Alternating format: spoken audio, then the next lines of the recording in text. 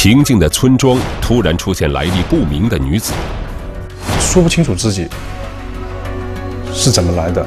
越南新娘背后竟然有令人震惊的案情。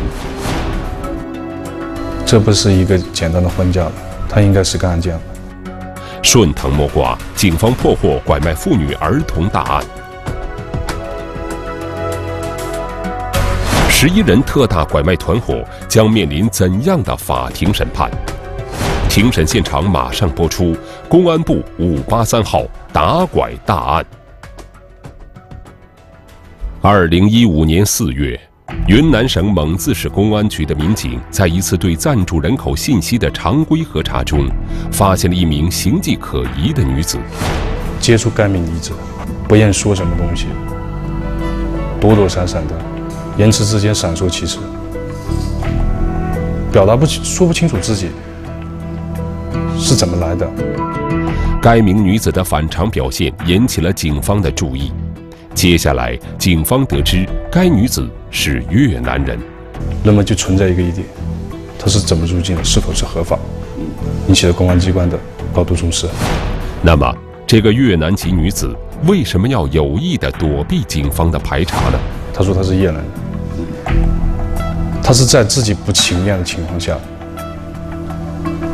被他人以到中国务工为幌子骗到中国境内。该女子告诉警方，她是被人以务工为名骗到当地，然后又被卖他人当了儿媳妇。办案民警马上意识到了事态的严重，这不是一个简单的婚嫁了。我们初步断定，她应该是个案件。根据该女子的描述，警方迅速锁定了一个绰号叫“花姐”的陶姓中年妇女。临机反应，隔三差五的，就他们家嘎，经常会有陌生人来，带着小姑娘来他们家，短则几个小时，长就一周左右。随着调查的逐渐深入，警方又有了新的发现，进行摸点，得知他们村子已经加入市民这种越南籍女子，我们接触了。不是这样的，被骗，以来就是中国务工这种，被骗过来的。而让警方惊讶的是，这四名被拐到当地的所谓越南新娘，都和那个姓陶的中年女人有关。那么我们就通过就是对四名女子的他们怎么来的这些整个过程进行了梳理，发现一个共同点，都是经由姓陶的这个女子。所接受，种种迹象表明，这个绰号“花姐”的陶姓中年妇女涉嫌拐卖妇女的犯罪行为。同时，警方判断，在花姐周围应该有一个专门从事拐卖妇女的犯罪团伙。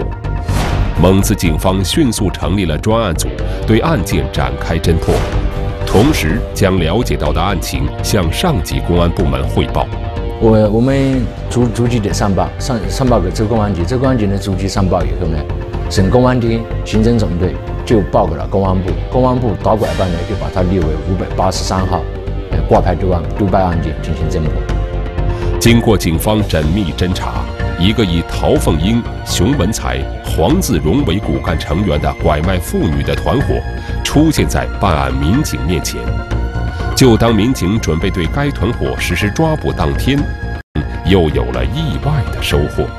抓获熊黄以及姓黄的老婆，同时在其出租屋里面也解救了一名刚被他们拐来的一名越南籍女子。其中姓黄那个还涉及到另外一边事情，拐卖儿童，也是同时发生在那天，要进行交易，成功解救了一名刚出生十一天的一个女婴。我们抓获犯罪嫌疑人四名。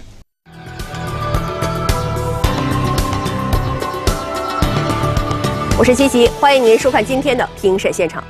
这起被公安部打拐办挂牌督办的拐卖妇女儿童案件，经过蒙自警方历时近十个月的缜密侦查，最终抓获犯罪嫌疑人十一名，并成功解救被拐卖的越南籍妇女十一人以及一名女童，另外还有一名中国籍刚出生十一天的女婴。对于拐卖妇女儿童的案件，不仅是公安机关的打击重点，民众对拐卖妇女儿童的犯罪行为更是深恶痛绝。那么这十一名犯罪嫌疑人为什么还要铤而走险？他们都是些什么人？面对法庭审理，他们会认罪吗？法院马上开庭，让我们一起走进今天的庭审现场。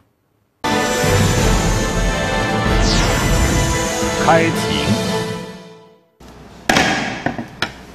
蒙自市人民法院刑事审判庭现在开庭，传被告人到庭。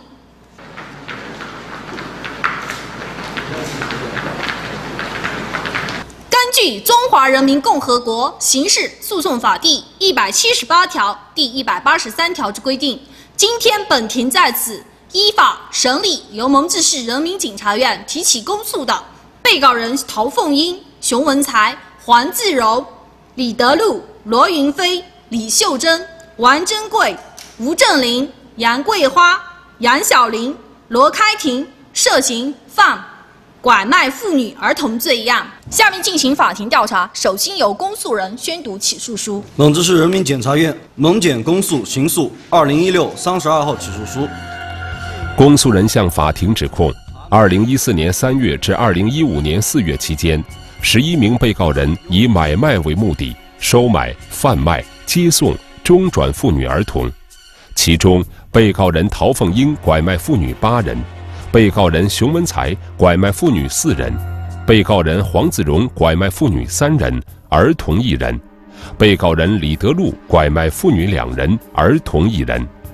被告人罗云飞拐卖妇女两人，被告人李秀珍、罗开庭参与拐卖妇女，被告人王增贵、杨小林、杨桂花、吴正林共同参与拐卖儿童一人。上述被告人的犯罪事实清楚，证据确实充分，应当以拐卖妇女儿童罪分别追究其刑事责任。起诉书宣读完毕。采访中，记者了解到，红河州位于云南省东南部。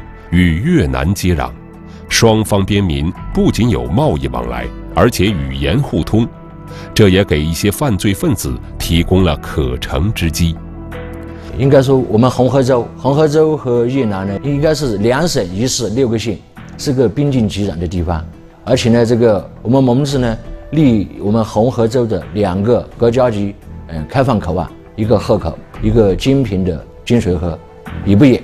所以说呢，这个。蒙自的这个地理的特殊位置，确定了我们在这个呃犯罪分子呢可能会偷逸出去，或者是与对方的呃国外的一些呃这这这这个人贩子呢记住。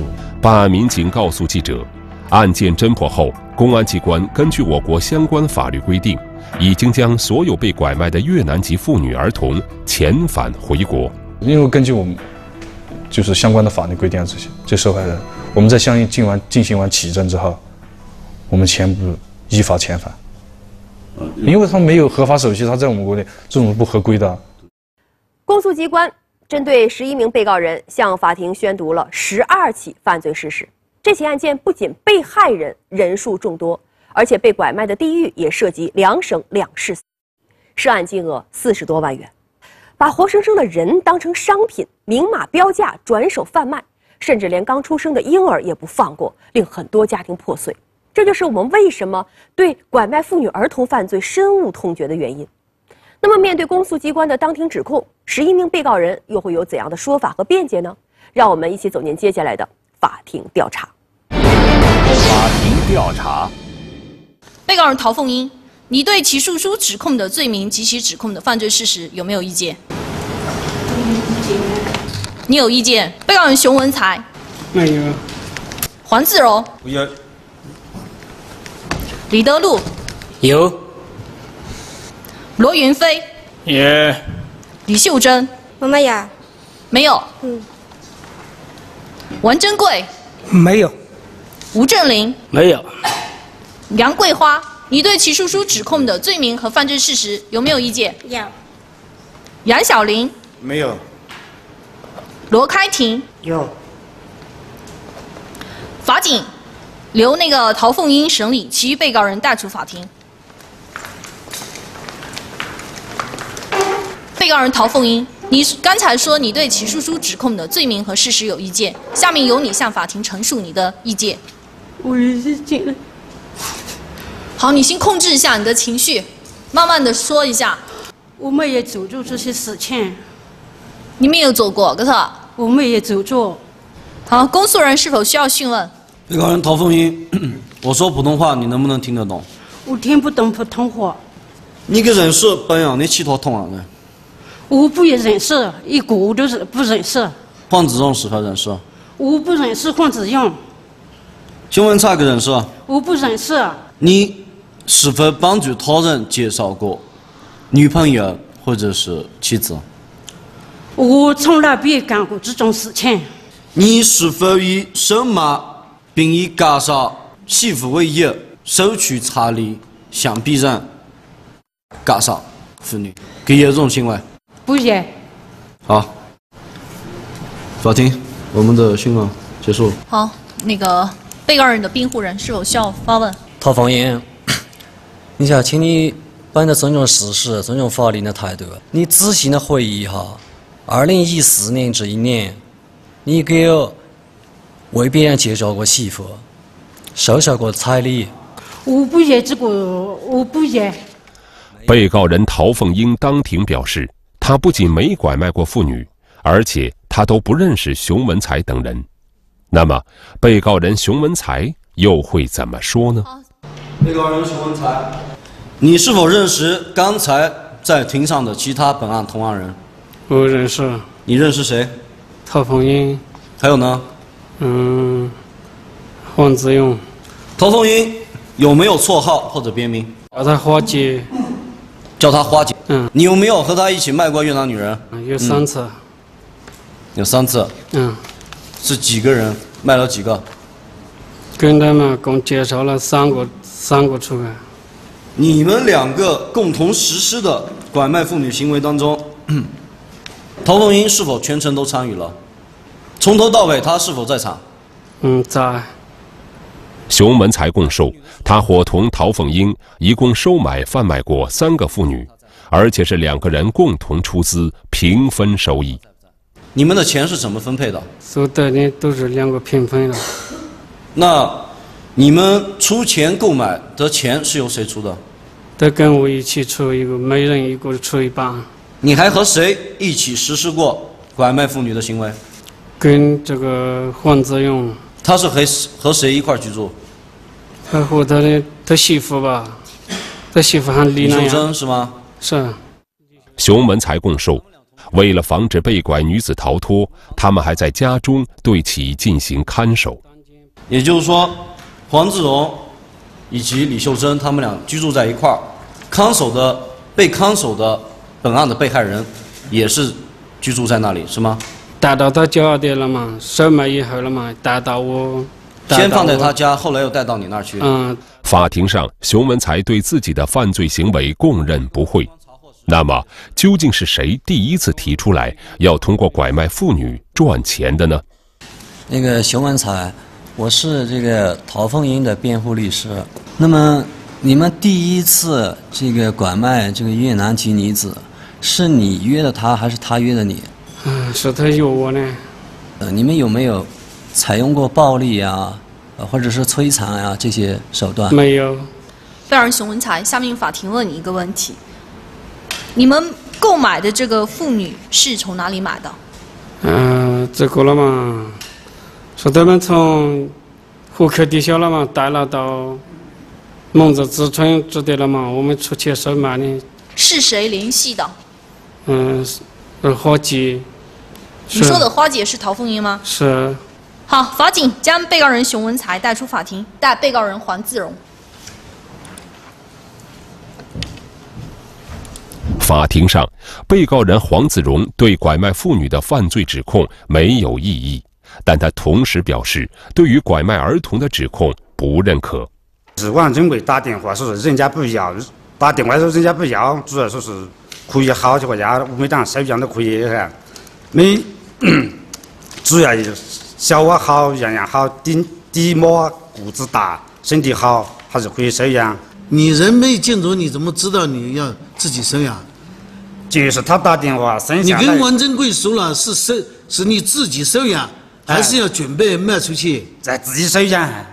黄子荣说，他当初听说是孩子的父母因为想要男孩，所以要把刚出生的女孩送人，他这才让被告人王增贵过去抱孩子，自己准备收养。那么事实真的是这样吗？你认为是他父母不要这个小孩了的？哎，对对对，其他还有没有？其他不得。那个黄志荣，李秀珍是你的妻子还是你的女朋友？女朋友。在此之前你结过婚没有？结过了。有没有小孩？有。有几个？三个。李秀珍在和你在一起之前，她结过婚没有？她还是结过。她有没有小孩？厉害。有一个女孩。嗯。李桂珍那个姑娘也嫁了，我两个儿子都全部结婚了，那个啥？你的两个儿子结婚后，现在有孩子没有？哦，小娃都有几岁不？既然黄子荣已经儿孙满堂，而且同居女友李秀珍也有女儿，那他为什么还要想收养一个刚出生的女婴呢？这种情况下，你们为什么还要想收养一个小孩呢？李慧珍那个姑娘嫁给户口的下面就说是，我就说是，他说是收养我们反正等哪天我说我不跟他在屋去的，我回家去，那个小伙还是有。他是能可以能帮他了嘛？这样。你和李秀珍商量过收小孩的事情吗？哎，商量过，他是应该我商量过了。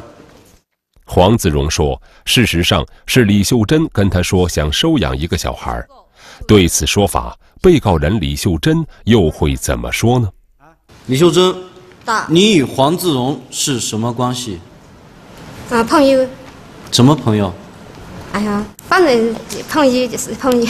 你有没有向他人介绍过越南越南媳妇？啊，没介没没介绍过的，是我说过的。没我还是问他，我说你们来这子地面，你认不得刘和家没？是也或是我们的亲戚啊，些还是也小伙子家挺好，你可以嫁在我们地方了。你说狗娘们到那地都有人要，像跟说过的。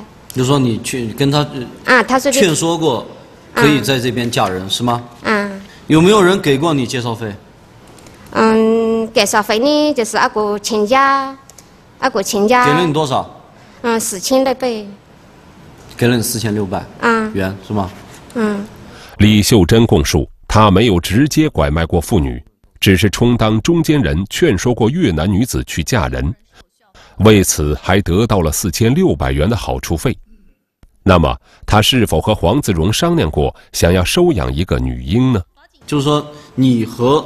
黄志荣在一起，你有没有向他提出来说你想要个小孩？没有，从来没有吗？啊，我都是想说是做朋友们，他有他的家庭，们做朋友们做对对不对们，我跟我的小娃在，我不想讲了。好，法警将被告人李秀珍带出法庭，带被告人王珍贵到庭。好，公诉人是否需要讯问？需要。可以讯问。被告人王珍贵。到。你是和谁一起到的金平收买儿童的？嗯，吴振林、杨桂华。到了金平以后，你是和谁联系的？嗯，杨小林。杨小林是否清楚你到了金平熊二家是要去买孩子的？清楚。你们买买小孩的钱是谁拿出来的？嗯，罗振林、杨桂花他们两口子拿出来的。你准备把小孩卖给谁？嗯，黄志勇。王增贵供述，因为黄自荣和他说过要买一个小孩，于是他就让被告人杨小林联系卖家，又让被告人吴正林、杨桂花夫妻俩假扮成孩子的父母，一起去接运孩子，以躲避警方的检查。事成后各自分立。你是如何和他商议的卖小孩的细节？黄志勇叫我去买的嘛。他叫你去买。啊。买了他要干什么？吃卖吧，他还要卖。嗯，他给你多少钱？他给我八千。你有没有向杨小林说过你要下去看货？我说过。货的意思是什么？货包不包括小孩？包括。你有没有明确的向吴振林以及杨桂花夫妇说明你们是要去干什么？说明的。为什么要一对夫妻呢？你是希望他们去了帮你达到什么效果？啊，就是隐瞒的效果。隐瞒，嗯，好像扮成他们的孩子是吗？啊，就是那种。杨小林，你有没有跟他商议过要给他钱的事情？说过了，就是我们四个人平分了嘛。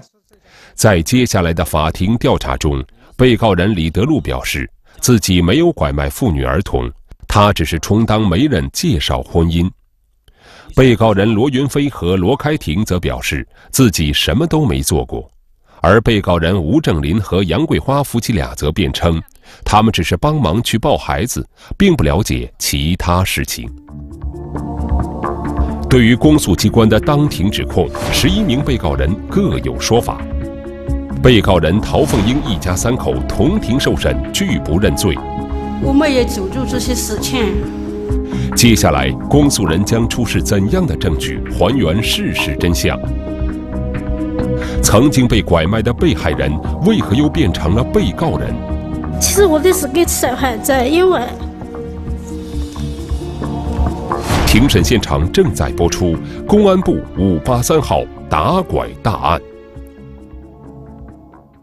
法庭上，除了被告人熊文才、李秀珍、王增贵、杨小林对公诉机关的指控没有意见外，其他的被告人对于自己的行为却是各有各的说法。被告人陶凤英、罗开庭、罗云飞更是表示自己什么都没做过，警察是抓错了人。那么，公诉人接下来将会出示怎样的证据来还原案件的真相呢？让我们接着往下看。举证质证。下面由公诉人针对指控的犯罪事实进行举证。公诉人首先向法庭出示了相关物证照片、辨认照片等刑事证据照片。接着，公诉人出示了被害人古某的陈述。古师妹陈述。在二零一四年五月份的一天，他被人强行的从越南带到了中国。他被一个老人带到子村的一个水库附近，这个老人一直守着他。这个老人偶尔离开的时候，也会把他锁在家里面。在此期间，有一个妇女会来看他。有一次，这个妇女问他是不是要嫁人，顾世梅就说她不想嫁人，想回家。这个妇女就告诉他，要嫁了人才可以回去。顾世梅很害怕。想着就先答应他们，再找机会逃跑。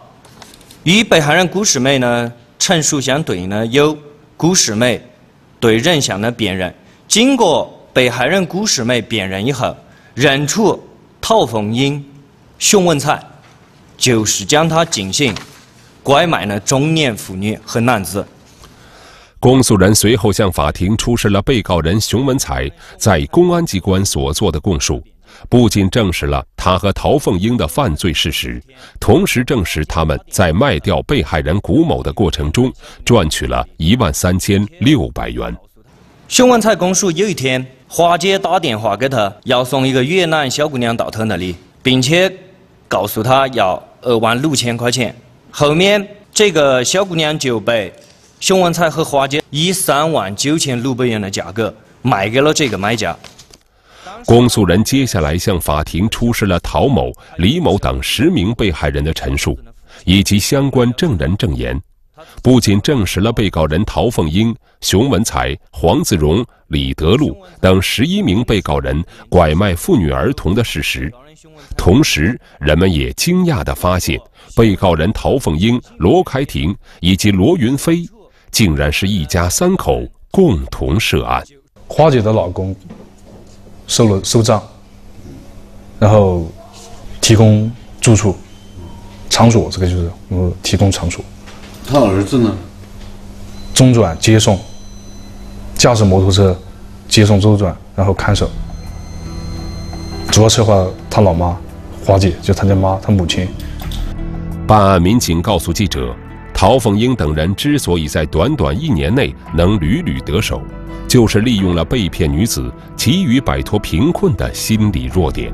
这些人通过我们跟他们了解，他们在那边就是说是也是生活在他们越南的那种生活底层，家庭贫困。那么在这个过程中，不轨的那些犯罪分子趁虚而入，通过就是他们这种心理，想外出来我挣点钱回去，所以就过来。在这在这个过程中。有一定的欺骗、恐吓、蛊惑等手段都有，而区别于正常的谈婚论嫁行为，本案中所有的被拐卖的妇女都是在不情愿的情况下做了别人家的新娘。过来了，一两眼一抹一抹黑，完了什么都不知道，人生地不熟，情况也不明，任人摆布，不是你情我愿的，而是就是说，以就像以商品一样定个价的形式，带走所谓的叶兰新娘。拐卖妇女儿童罪是指以出卖为目的，拐骗、绑架、收买、贩卖、施诈、接送、中转妇女儿童的行为。根据我国相关法律规定，对于拐卖妇女儿童的犯罪行为，根据情节可判处有期徒刑、无期徒刑，甚至死刑。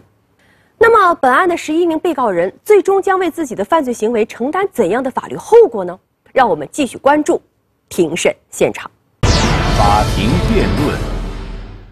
好，法庭调查结束，下面进行法庭辩论。下面首先由公诉人发表公诉意见。法庭辩论中，公诉人首先认为，虽然在法庭调查过程中，被告人陶凤英、罗云飞、罗开庭否认自己的犯罪行为，但是其涉及的每一桩犯罪事实都有相关证人证言、被害人陈述以及其他被告人的供述互相印证，足以证实其犯罪事实。本案证据当中，有四名同案人、八名被害人。二十三名证人均辨认出了被告人陶凤英，并指证其实施拐卖妇女的行为。其中还有三名被害人及四名证人也分别辨认出了被告人罗开庭、罗英飞参与了拐卖妇女儿童的事实。在这些能够相互印证的铁证之下，被告人作出与背离客观事实完全不相符的。辩解都是苍白无力的。公诉人同时认为，本案十一名被告人为谋取非法利益，置国家法律于不顾，拐卖妇女儿童的行为，理应受到法律的严惩。本案中，被告人是利用在红河州和越南接壤的这种地理环境，在非法利益的诱惑下，产生拐卖妇女儿童的。犯犯罪的念头，被告人呢，这种行为无疑就是将无辜的辩护人当做菜市场的白菜一样，在进行非法的买卖，赚取中间差价。而且被而本案的被告人王增贵、杨小玲、黄自饶、杨桂花、吴振林，同样具有以贩卖的为目以贩卖为目的实施拐骗、接送。这个新生儿女婴的行为，这种行为具有特别严重的社会危害性，应当受到法律的严惩。法庭辩论中，被告人陶凤英的辩护人对公安机关指控的罪名和事实没有异议，但同时表示，被告人陶凤英有一定从轻处罚情节。请法庭注意，这个首先呢。在这个犯罪过程当中，他们所采用的这个手段呢是较为平和，没有采取暴力、强制、摧残、虐待都没有，呃，一定程度上给予了这个被害人相对的人身自由。所以呢，从这个细节，我们还觉得那个被告人这个陶凤英的主观恶性呢，还不是那么恶劣。被告人罗云飞的辩护人则认为。罗云飞的行为完全是受母亲的指使，主观上没有拐卖妇女的故意。事实上，呃，罗云飞对他的母亲，也就是本案的第一被告陶凤英，他是怀有一种很尊重甚至是敬畏的心理。平时在家也是比较听父母的话，所以他参与这一次这一次行为的话，也是比较被动的。其呃情节显著轻微，危害不大，不应认定为犯罪。而被告人王增贵的辩护人则认为，在拐卖女婴的犯罪行为中，王增贵是在被告人黄子荣的指使下去买的孩子，所以应该属于从犯。我们看到，这个儿童呢是在什么情况下？是在被告人黄志勇答应可以给八千的情况下。才推动了这个犯罪去实施的，并且呢，被告人黄志勇呢不仅是一次犯罪，所以我说还是要说呢，他们和那个，呃，黄志勇比较起来呢，他们居第二位。实际上，黄志勇要承担主要责任，其他呢这些被告呢不好分，啊，那么杨志、杨小林是提供信息的嘛，对不对？王珍贵呢，他是去也是协调这中间啊，起搭桥联系这个作用的嘛，这个也不可否认嘛。这是国人的作用，他们后来这四个人的作用呢，基本上不好怎么翻。那么我们认为他们四个呢，应该是从犯。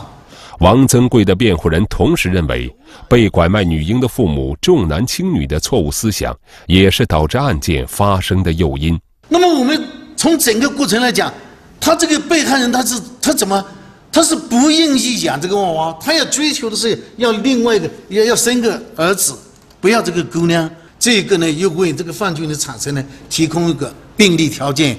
啊，这个在法庭辩论中，被告人杨桂花、杨小林的辩护人则向法庭表示，两名被告人均属于初犯，且情节轻微，请求法庭对其从轻处罚。法庭辩论终结。依照法律的规定，在法庭辩论终结之后，被告人享有最后陈述的权利。十一名被告人站起来。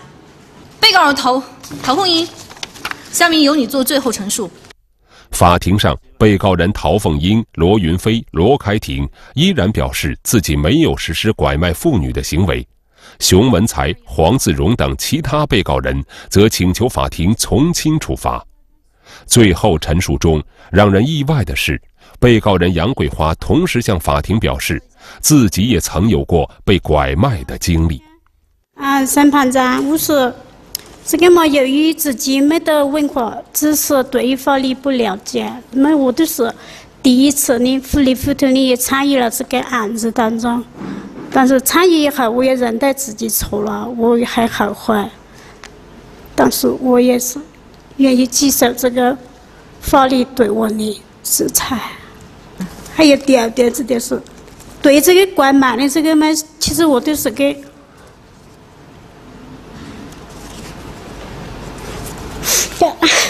好心平复一下你的心情，平复一下。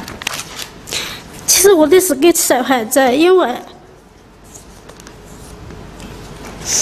我都是被情妇的姐姐有机会拐卖过，这次都是看你这个自己的无知嘛，连在朋友圈上，想的是互相帮忙，结果呢，稀里糊涂的还是。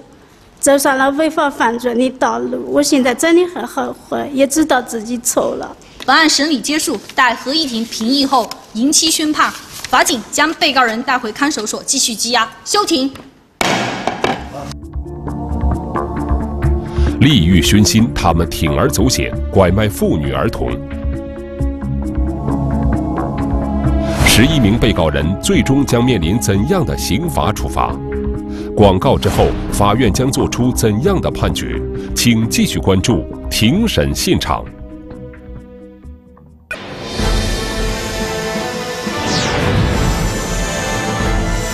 宣判。二零一六年七月，云南省蒙自市人民法院对该案作出一审认定。法院经审理认为，被告人陶凤英、熊文才、黄自荣等十一名被告人。以出卖为目的，收买、贩卖、接送、中转妇女儿童，其中被告人陶凤英拐卖妇女八人，被告人熊文才拐卖妇女四人，被告人黄子荣拐卖妇女三人，儿童一人，被告人李德禄拐卖妇女两人，儿童一人，被告人罗云飞拐卖妇女两人，被告人李秀珍、罗开庭参与拐卖妇女。被告人王增贵、杨小林、杨桂花、吴正林共同参与拐卖儿童一人。公诉机关指控的犯罪事实清楚，证据确实充分，罪名成立。被告人黄自荣在刑罚执行完毕后五年内再犯，系累犯，应当从重处罚。据此，法院作出一审判决。被告人陶凤英犯拐卖妇女罪，判处有期徒刑十五年，并处罚金人民币十万元；被告人黄自荣、李德禄犯拐卖妇女儿童罪，分别判处有期徒刑十三年零六个月，并各处罚金人民币八万元；被告人熊文才犯拐卖妇女罪，判处有期徒刑十二年，并处罚金人民币八万元。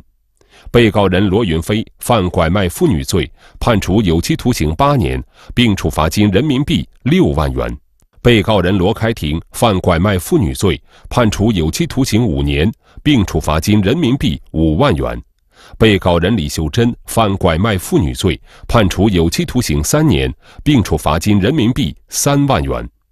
被告人王增贵、吴正林、杨桂花、杨晓林犯拐卖儿童罪，分别判处有期徒刑五年，并各处罚金人民币五万元。拐卖妇女儿童的犯罪行为不仅严重的扰乱我们国家的社会秩序，挑战人们的道德底线，同时也让很多家庭亲情失散，导致家庭悲剧，甚至还会引发更为严重的家庭矛盾和社会问题。对于此类犯罪，我们国家各级司法机关一直保持从重从严的高压打击态势，而对于陶凤英、熊文才、黄自荣等利欲熏心、敢于以身试法的被告人，等待他们的也必将是法律的严惩。感谢您收看今天的庭审现场，我是七七，咱们下期节目再见。